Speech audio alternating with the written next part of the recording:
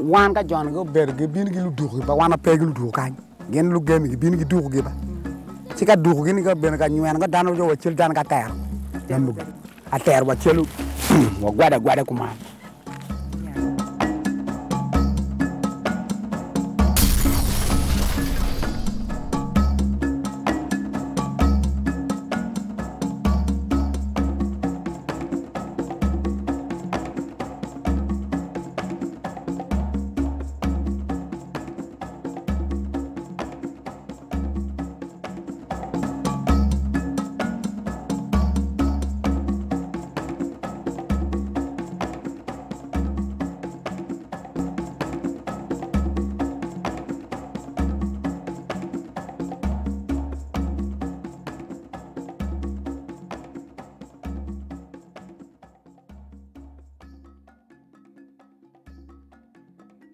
With the return and resettlement almost complete, the situation still remains fragile in the post-conflict northern Uganda. After the two decades of armed conflict that destroyed lives and properties, the level and causes of violence and insecurity within the former internally displaced people of northern Uganda has been a subject of changing dynamics.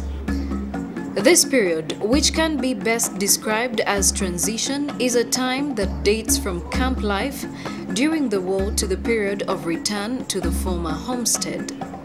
Though the region once depended entirely on handouts from humanitarian organizations, it has lately seen a drastic boost in agriculture.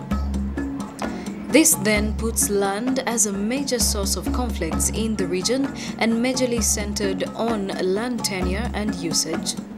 Land is the only resource left. Everywhere you go, you ask, talk about land, they say, ah, yeah, yeah, yeah, don't temper about the only resource that we have now. For land, I'm ready to die. I'm ready to shed blood.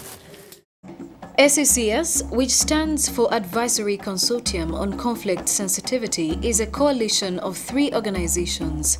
These are Refugee Law Project, Safer Worlds, and International Alert that is funded by DFID to be able to identify and advise on conflict indices during the post-conflict reconstruction of northern Uganda.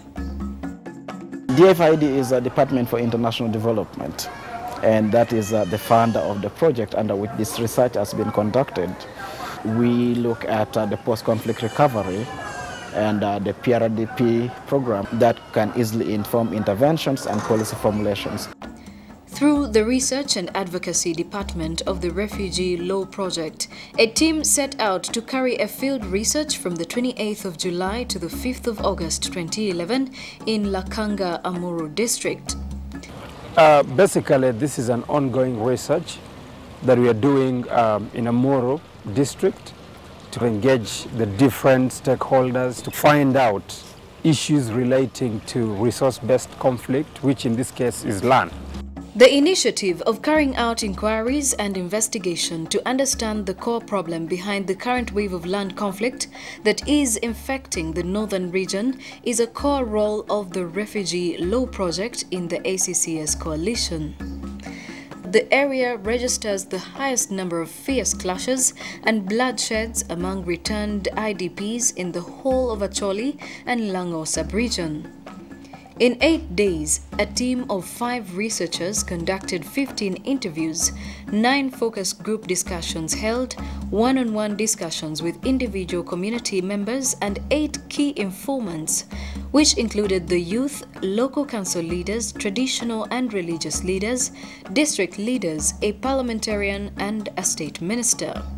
While the bulk of existing land disputes can be attributed to unplanned return, greed, manipulation, and illegal encroachment, the genesis of confusion around land boundaries is attributed to the prolonged period of absentia while living in the camps. A confusing element here that is uh, tracing who has lived where when this has made issues more complicated. To me, I'm saying we are sitting on a time bomb. And we need to detonate that time bomb in time before it explodes.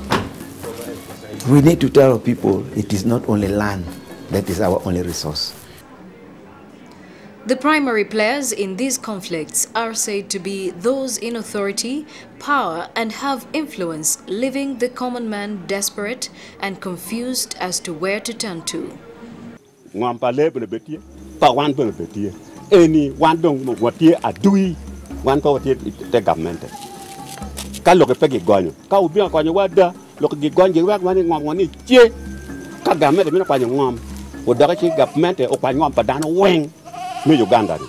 Chi wa bi ka me wa eni chi government la ko ko ma no chala man te ne ko ma gi ma ni ti ma le ti nya wan to jemo en to onen ma chala wa no te na da. Wan ma chalo dan pa. Wa ta chi ngoi gamente inen ki nen ta kwe ma giromo kede dano. En wan machalo dano churi dong lweny oromogi ai lweny marach kod dano weng warwenyo muken chalo an maloyo noludit irwenyo dong pe kado yopure no gi chemi riti yen ya. ta tiyen to gichawni giti ka rieny pa tawo mien dano dok ke pe to waromo tiyo dok atero michiel ka lweny kum kamete It is as a result of such confusion that today we see the current escalating levels of violence, clashes, and forceful evictions, and the growing militancy in handling land issues. The land in Amuru district has been a major, major problem, uh, which we, the police, we have already fought very hard. Sometimes they use spears, they use arrows and a bow. Sometimes when we are going to approaching them, they be also hard for us. We think that are you coming back or not come back? But we almost we manage. Chỉ ngom eni ngom pa kwa wa wan ma dong ti kan. Man gam nong pi no kan. Ka kwa wa ngom. Lu tiên en wa wan ti ka kwa ki cha lu tiên ma tiên ki ni yo ngo wa pi ter ke gan kwan. Ngom pe ka wa wa na pe pur ni ning. Gi wa mi wa cham ngo. Ngom pe wa ni wa na cham kwe. En wa pe bien ngom kani kwanyo kwe bene pe mo panao pi ke ne bere gin waji pi bene palle chi wana mi wa kwa ge ngo yat bene palle wana mi wa kwa ge ngo lum bene palle akin kon dong gin en le ye dok pier dok teng lo wang ta no eni si gin dong gi le ye do bi tim ngo bi bol kwi gi tien mi ario ka kon gi ngai da ye bol gi kwi si gi we ngo mo pet pa da no lokamari vani ki tumpeng. tung piny no joni gi waji giketo kod injunction tiego ar mm. eh, joni pe ging'ol kan. Ci gi pe galu alubo ni lok eni pe gi o kan ci yung'edo gichako ticho gi mudonga gi agiki pa ng'om mudong ka gimiyo ki mad van beri dong be bedo kwene. Dongo lobo giketo ng'om da na be beri ng'om. Ah ka mad van o kan ci tong kot palapang tuor gimeko wa dong. Wici wici gang ne ko wa ka ma divani wa gin ne ko wa gang. Piene ka dong ni ma divani ba nyona ka chielu dan ka ter ma wajin Highlights of the research confirmed tension that needs urgent attention before the situation gets out of control. Much as the research is ongoing, preliminary findings at this stage point fingers to numerous actors and players, including politicians, local leaders, business individuals, and government. There are locals who have their interests. There are politicians who are fueling this conflict in one way or another within the locals. There are people who have come in and sold the land behind, uh, the, behind the backs of others. But they are destroying houses around this place. If you, you go out, you will see hmm, other side. They are destroying very near here, which is influencing our, our children here, homeless. That's why we are very annoyed. And we promise that if they continue doing that thing, we are going to hand our life to them. They should shut us all down so that we can be killed for our original homeland, our fatherland. The magistrates really frustrate the people down here, and so they resolve, they take the law into their hands. That's when you see them, they, they pick up um, spears and, and, and hoes and pangas. The way forward is let the court, or magistrate court, those who are under the court, come on the ground where they, where there's a conflict is. Let them go and listen, ask opinion from the community, the neighbor who are around there. Then they go and they will go and make a proper judgment. Because now people are moving, case is a jam, case is a jam. Somebody give up, said, ah, me have already moving up, I'm not going back. It's better going to fight.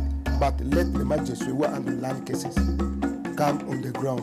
Call them, is it the locus? the locusts. Then them come on the ground. I may be perceived um, in an awkward way to say that we will see anarchy in this region, but definitely if bloodshed is going on now, with even the little dialogue that is there, and if we isolate dialogue from it, definitely you're going to see worse than that.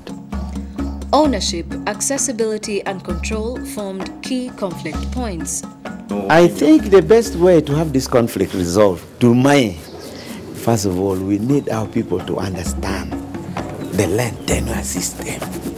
You know, this tenure system in its face has caused a number of problems.